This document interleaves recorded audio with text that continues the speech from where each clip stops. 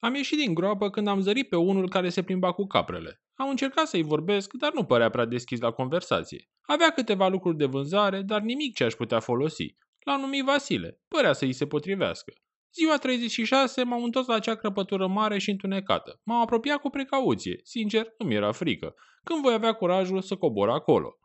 Ziua 100 se apropia, iar eu speram că salvarea era aproape. Croaziera ar fi trebuit să se încheie în mod teoretic, iar lumea cu siguranță se întreba unde sunt.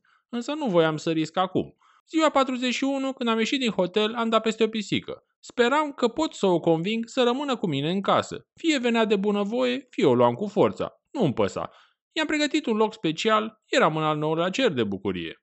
Ziua 45 am intrat în afaceri cu morcov și cartofi cu localnicii. În schimbul legumelor primeam niște pietre valoroase pe care le puteam folosi ca monedă de schimb. Cu aceste pietre puteai să cumperi de la alții niște cărți magice. Suna ciudat, dar așa era. M-am întors în pământ și am spart pereți până m-am apucat amețeala. Nu am găsit absolut nimic. Excelent. Ziua 48 eram gata să pornesc într-o nouă aventură. Am plecat să explorez împrejurimile și am observat ceva spectaculos în apă. Părea a fi o construcție. Cu toate acestea, în apă notau niște pești ciudați care nu păreau prietenoși. M-am îndepărtat de casă, ceea ce era o raritate pentru mine, deoarece orientarea nu era punctul meu forte. Inima îmi bătea puternic în piept de teama de nu mă pierde. După o vreme am găsit o clădire care părea suspectă, dar am decis să intru. În interiorul clădirii mă aștepta un păianjen uriaș, un adevărat primitor, fără îndoială. Cu toate acestea, am început să sap în jur și am descoperit cutii pline cu lucruri. Fără să ezit, le-am luat pe toate. Ziua 49 am reușit să prind o pisică neagră. Am alergat un pic după ea, dar a meritat efortul. Am adus-o în casă.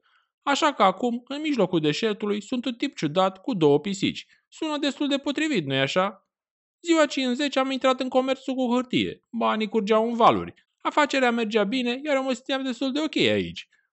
M-am uitat în jur să văd dacă mai găsesc ceva interesant. Părea pustiu, cu excepția unei clădiri extrem de ciudate, pe care aveam de gând să o explorez dacă o mai găseam.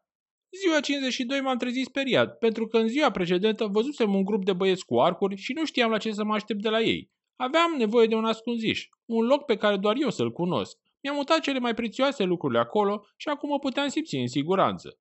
Ziua 55 a fost din nou o zi de comerț. Nu știu ce era atât de special la hârtia mea, dar oamenii o cumpărau cu repeziciune. Mai ales că nu i-am văzut pe cumpărători scriind prea multe cărți, dar asta nu mă privește, treaba lor.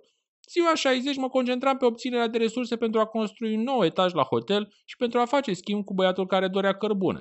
Era necesară o undiță performantă sau poate chiar o carte magică, de care toți se lăudau. În orice caz, nu erau multe lucruri de făcut până când cartofii și morcovii urmau să fie gata de recoltat. Eram pe fază și pregătit să acționez.